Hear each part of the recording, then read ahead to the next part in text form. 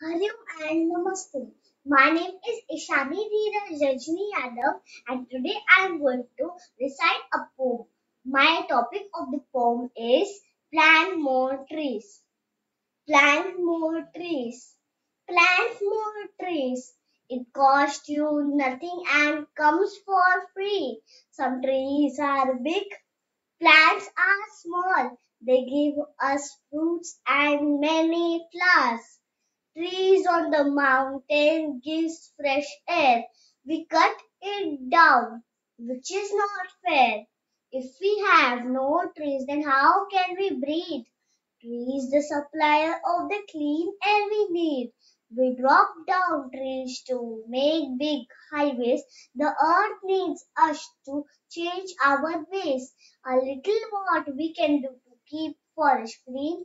A little earth, a little seed, that's what we need.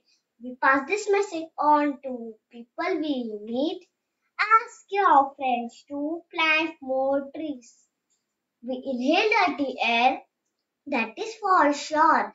The air we breathe, it should be pure. So plant more trees, plant more trees. It costs you nothing and comes for free. Thank you.